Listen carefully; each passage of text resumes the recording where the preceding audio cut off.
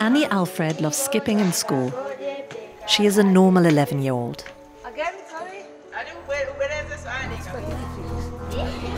But she and others like her are a target in a bizarre criminal enterprise.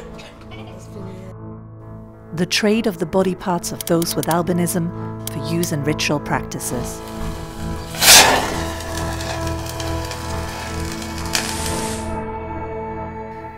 Annie starts her day like many others. She wakes up, does her chores, and goes to school.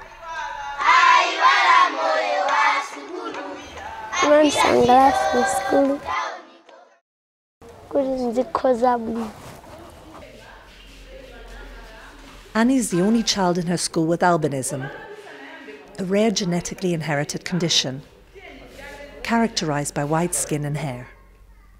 People with albinism are normal just like us, but they just don't have this component of melanin. That's why their skin color is different from a black person. And, as is often the case with people who are different, Annie is stigmatized.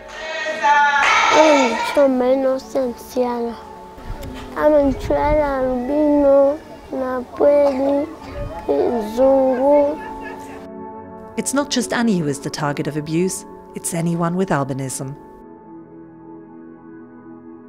Mzungu mbuli uh, mzungu opanda chuma. Zilengwalengwa There is one name, however, that has more serious implications. anthu akumanditchula ndikakhala kuti ndikupita ku chipatala ndi pamene akumayenera zoti ndalama iyo.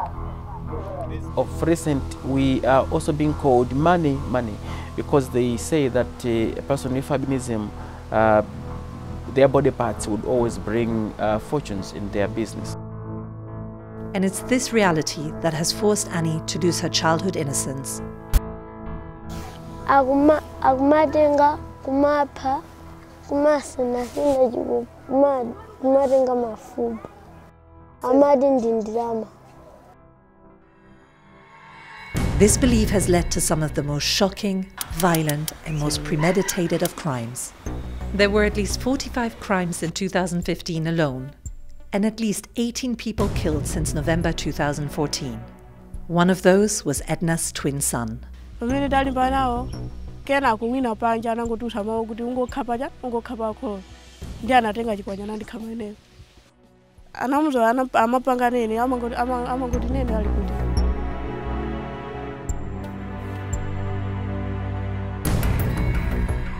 It is believed that the misinformation that feed these violent crimes comes from some traditional practitioners. Those people who are telling people that uh, body parts of persons with albinism do bring fortune are the herbalists and the witches. Traditional practitioners are widely used throughout Malawi. amene amadziwa kuti ufiti uliko mwina aitha kukhala hafu ya ziko ambiri kuti ufiti uliko. Zinthu kuti ziyende bwino pakufunika mafupa a munthu wina kapena munthu wina ntchito mitengo. Anthu ena ndi amene ngati amene akusowa ndi amene timafuna kuti osiyanasiyana osati Thanks to protest and media pressure, there is a growing awareness of the issue in Malawi. Uh, organize these, these uh, demonstrations to, to show our anger to parliamentarians that they are not doing enough.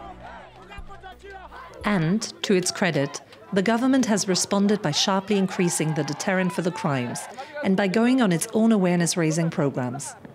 But it's not enough. Ultimately, people like Annie still live in constant fear.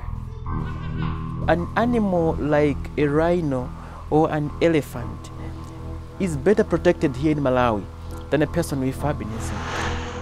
Poor housing, lack of security in schools, and the limitations of the law in rural areas are all contributing factors.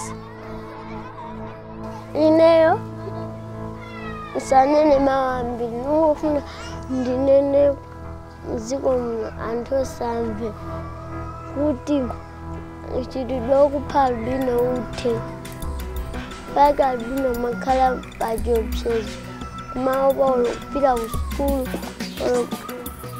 ukosewe la kumenya